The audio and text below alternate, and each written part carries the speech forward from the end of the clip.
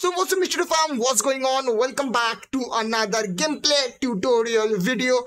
In this video, we are gonna be taking a look at how to perform how to perform that skill move step over in FC Mobile properly. So let's start. Now, before starting, if you are a beginner, you have to select the skill move. You have to have the skill move in your inventory. So for that, we are gonna be going to team editing after that, you can see the skill move section available here. And as you can see, step over and exit is not available, is not a part of my original four skill moves. So I'm going to be replacing feint and exit. So I'm going to click on feint and exit. I'm going to click on change.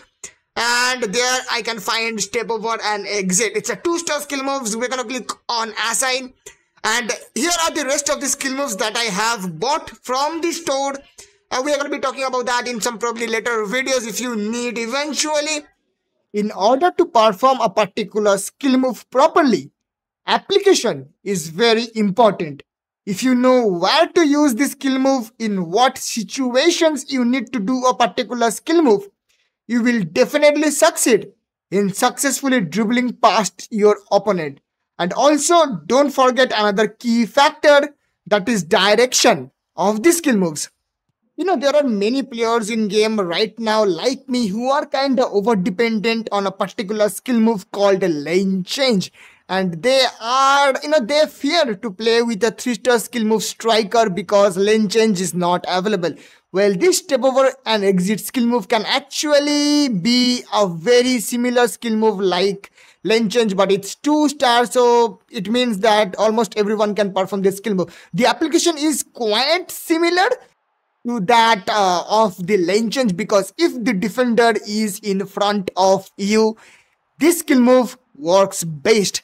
Well, don't forget the very important factor while performing this skill move is direction because you definitely need to give a direction to this skill move with the help of your cursor if you want to successfully dribble past the defenders.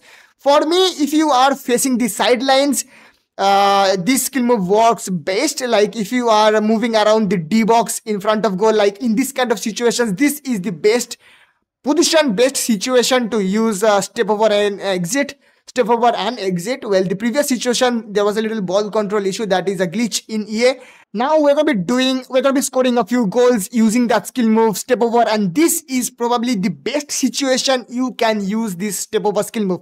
Look this is the situation where you have to use this step over skill move. Well, overuse of a skill move is definitely not good for your gameplay.